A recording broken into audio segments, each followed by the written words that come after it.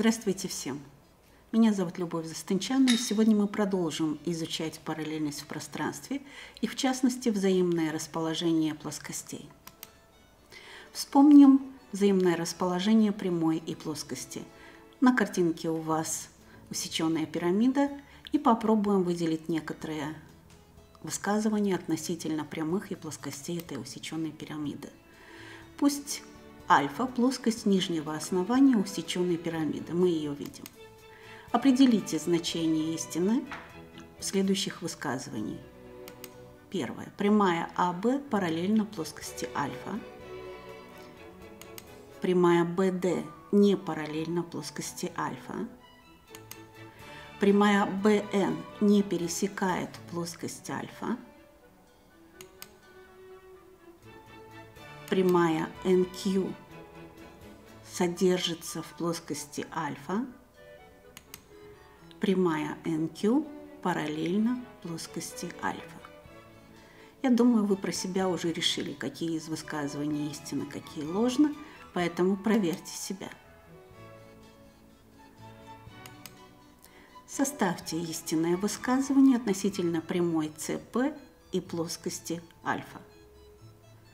Я думаю, вы заметили, что прямая ЦП совпадает с боковой гранью ЦП и, соответственно, пересекает плоскость альфа в точке ЦП. То есть истинное высказывание будет звучать так. Прямая ЦП пересекает плоскость альфа. Рассмотрим теперь навесную полку, в которой выделим плоскость бета, плоскость ниж, нижнюю плоскость полки и плоскость альфа на основе, на структуре этой полки. Выделим прямую пересечения этих двух плоскостей, прямую D. Итак, две плоскости могут пересекаться.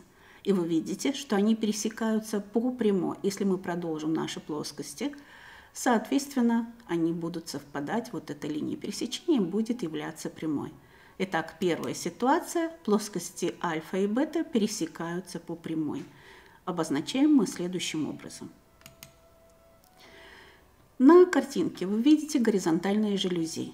Принцип работы жалюзей – это параллельные плоскости, которые в зависимости от позиции пропускают дозированный свет. В нашем случае это полуоткрытые э, плоскости жалюзи, поэтому они пропускают свет, тем самым наши плоскости не имеют общих точек. То есть плоскости альфа и бета не имеют общих точек, это второе, второй случай взаимного расположения двух плоскостей. Мы это обозначаем альфа в пересечении с бета равно пустому множеству. На следующей картинке у нас заливной тротуар на котором можно выделить темный и светлый цвет. Обозначим плоскостью альфа плоскость светлого э, цвета, да, и тем, плоскость бета плоскость темного цвета. Соответственно, плоскости альфа и бета совпадают. И мы обозначаем альфа совпадает с бета. Итак, обобщим. Взаимное расположение плоскостей. Первый случай. Плоскости пересекаются по прямой.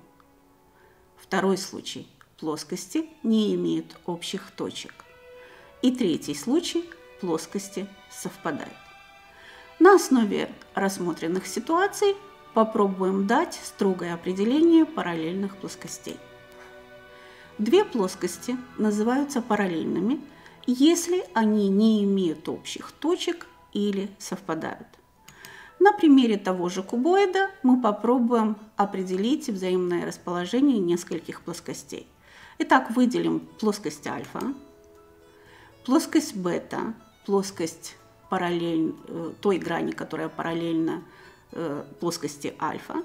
Ну, соответственно, плоскости бета и альфа параллельны. Плоскость EBA. Плоскость EBA содержит три точки из плоскости бета. То есть наша плоскость ЕБА совпадает с плоскостью бета, тем самым тоже является параллельной плоскости альфа. Плоскость HCG. она совпадает с плоскостью альфа, по определению они параллельны. Плоскость Е, Г, F – это плоскость верхнего основания нашего кубоида. Очевидно, она не параллельна плоскости альфа. Более того, она пересекается с ней по прямой GH. Попробуем определить истинное или ложное следующее высказывание. Плоскость EFG параллельна плоскости ABC. Плоскость ABC не параллельна плоскости ADC. И плоскость EHC пересекают плоскость альфа по прямой HC. Это у нас истинное значение, вы, думаю, себя проверили. Представим признак параллельности плоскостей. Если две пересекающиеся прямые одной плоскости параллельны другой плоскости, то эти плоскости параллельны. На рисунке мы видим плоскость альфа и плоскость бета. В плоскости альфа у нас прямые m и n.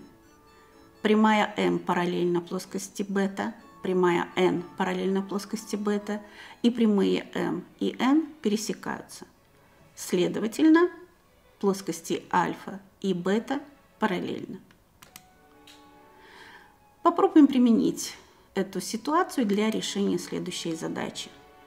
Правильной четырехугольной пирамиде EABCD построены точки M, N и K, которые являются, соответственно, серединами боковых ребер EA, ED и EC. Определите расположение плоскости МНК относительно плоскости основания пирамиды. Выполним рисунок в соответствии с условиями задачи. Все у нас точки проставлены.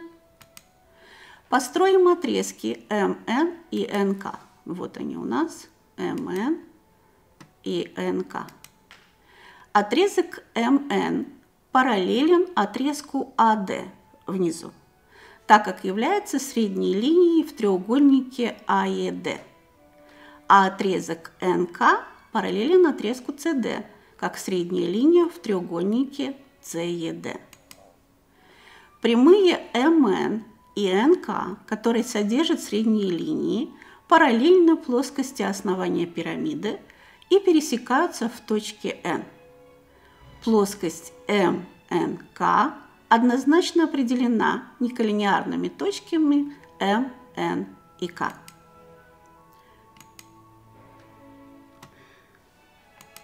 Следовательно, наша плоскость МНК параллельна плоскости основания пирамиды.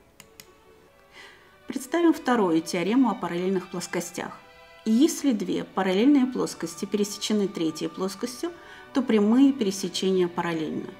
Вы видите две параллельные плоскости, альфа и бета, и третью плоскость гамма, которая пересекает эти две параллельные плоскости по прямым А и Б. Соответственно, прямые А и Б параллельны между собой.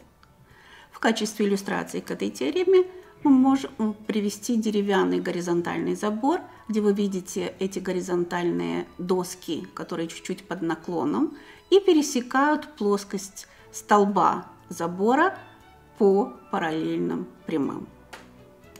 Теорема третья. Отрезки параллельных прямых, заключенные между параллельными плоскостями, конгруентны.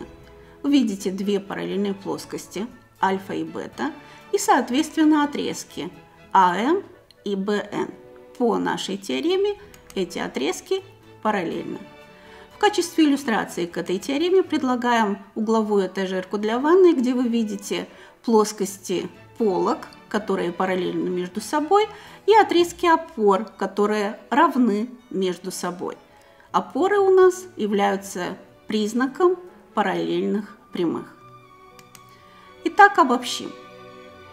Две плоскости могут пересекаться по прямой, не иметь общих точек или совпадать. Две плоскости параллельны, если они не имеют общих точек или совпадают – если две пересекающиеся прямые одной плоскости параллельны другой плоскости, то эти плоскости параллельны. На этом мы заканчиваем наш третий урок. И я надеюсь на встречу на последнем нашем уроке, где мы будем изучать приложение параллельности в разных областях человеческой деятельности. До свидания.